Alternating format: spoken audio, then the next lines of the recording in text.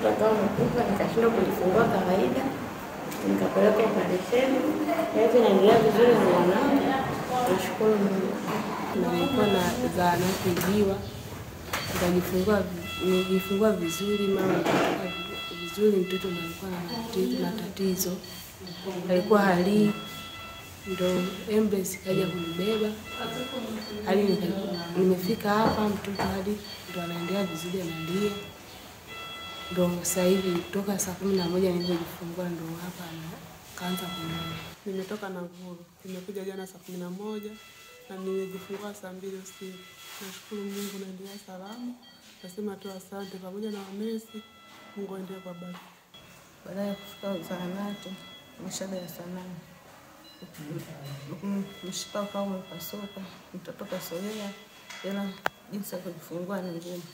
Kaamua kuleta ambulance, kaja kanichukua kanileta hapa mishale saa moja, nikapasuliwa saa tatu usiku.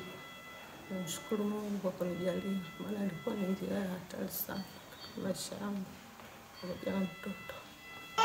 kutoka Mhola nikuja juzi saa tisa. Namshukuru Mungu amenisaidia, nimezaa mtoto wa kike. Kwa kweli amefanya jambo kubwa sana kwenye sekta ya afya, hususa kwenye mambo ya dawa. Kwa asilimia kubwa mia moja ameweza kuhakikisha dawa zinapatikana sehemu nyingi, hususa vituoni na hospitalini. Sio hivyo tu, na pia vifaa tiba pia vipo vya kutosha. Ujenzi wa hospitali ya wilaya ya Bai kwamba ni mradi mkubwa sana ambao umeletwa na serikali kiasi kwamba umeweza kusaidia wananchi wa wilaya ya Bai, kwa sababu hapo awali kulikuwa hakuna hospitali ya wilaya ya Bai.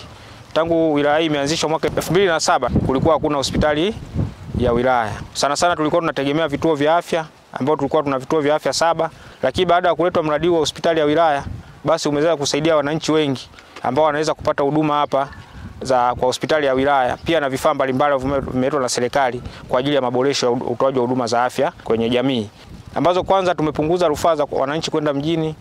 Hospitali ya mkoa sana sana wengi tunawafanyia huduma hapa hapa ambazo zinapatikana hapa hapa. Huduma ambazo zinapatikana hapa ni huduma za wagonjwa wa nje, huduma za upasuaji wa kina mama na pia huduma za upasuaji mkubwa wa magonjwa ya ndani tunazifanya hapa hospitali ya wilaya. Huduma za maabara zinapatikana hapa hapa store ya dawa inapatikana. Pia kuna huduma ya mionzi ambao kuna wagonjwa ambao wanahitaji huduma za mionzi, kwa mfano x-ray na ultrasound uh, zinapatikana hapa. Katika jengo hili la x-ray tumetoa mashine ambao ni standard mashine ambayo ina gharimu karibuni milioni 450 ambayo tumeshafungiwa na inaendelea kutoa huduma kwa wananchi. Imeweza kusaidia wagonjwa wengi ambao wanapata mivunjiko kwa sababu kuna wakati wagonjwa wengine wanahitaji kwenda mjini kwa ajili awali, kabla ya mashine hii kuwepo, wagonjwa wengi tulikuwa na rufaa mjini.